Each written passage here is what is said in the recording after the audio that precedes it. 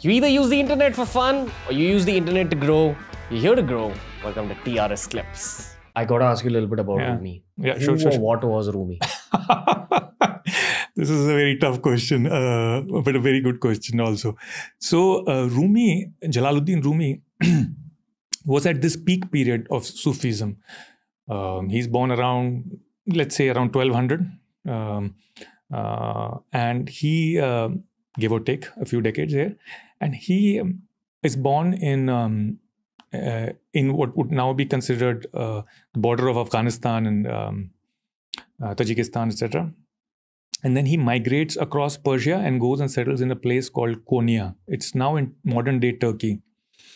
And most of his poetry is in Persian, but he also has in some other languages. He has also written Turkish, etc. And in Turkey, he's a very big deal, but he's also a very big deal in Persia because he writes in Persian. And in India, also, he's a very big deal, Jalaluddin Rumi. And his, uh, again, um, he's uh, very syncretic. He is, um, again, very metaphysical. He has a master called Shams of Tabriz, and a lot of the poetry is uh, in praise of his master. And he's he's um, uh, saying constantly that look, you know, uh, this true faith can be found in any religion. That is, uh, uh, you may think of me um, uh, as you want to think. You may think he's saying to the Muslims, "I am a Muslim also, but I'm not also. I am a Christian also, but not also. I'm I'm neither a Turk nor a."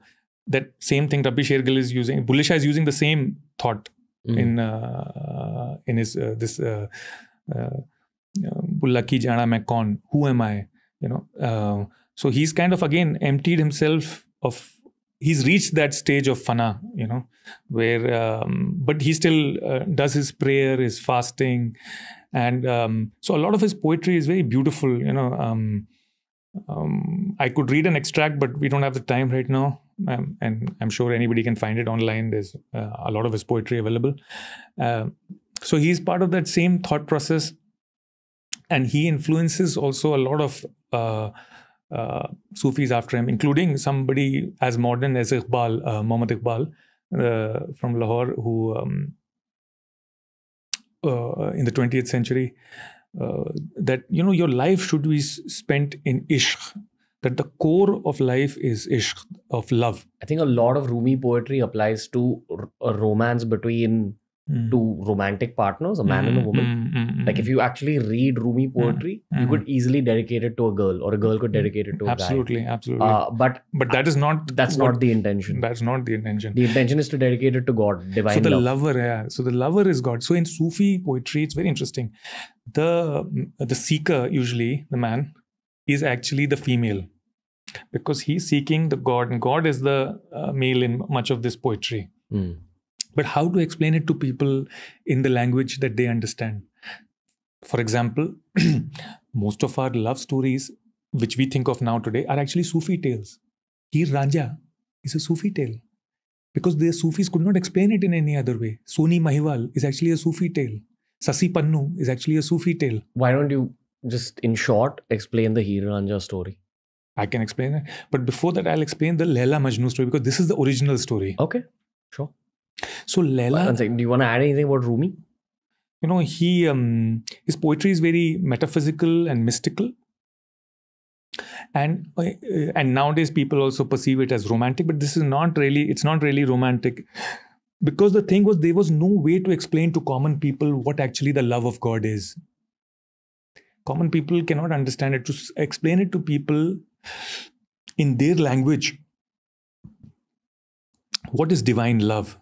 They converted it into ishq majazi. Ishq majazi means is ishq of this world love of this world love in this world.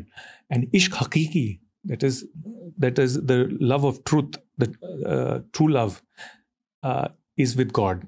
Now because he's using these metaphors to explain people sometimes thinks it's only about romantic love similarly when he's talking about intoxication and alcohol and drinking he's not intoxicated with alcohol he's constantly intoxicated by the love of god he's in another intoxication he's intoxicated with something else Is So- it, is it true that he used to uh, have a meditation where he would twirl And then once he was kind of in that meditative state because of the twirling, he, he would write poetry.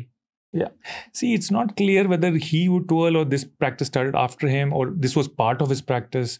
But this was not the core of his practice. He had already reached through meditation a very high level, even before this uh, twirling, this uh, uh, thing. And this twirling also is very symbolic that is you are almost like the planets you are revolving in fact the usually the sufi master sits in the middle or stands in the middle and you twirl around him mm. on this hmm. axis and that's why the sufi master is also often called qutub qutub means like qutub minar it means he's the pole qutub means pole around which the world the spiritual world revolves you know the universe revolves that's why he's called the qutub you know um have you ever tried that kind of a meditation I have never tried.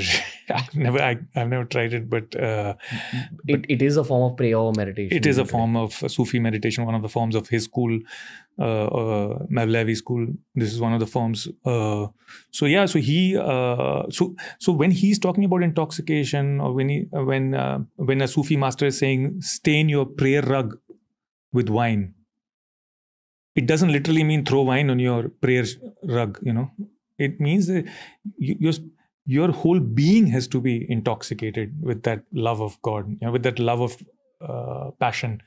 Um, I, and I put it beautifully in a share by Iqbal, you know.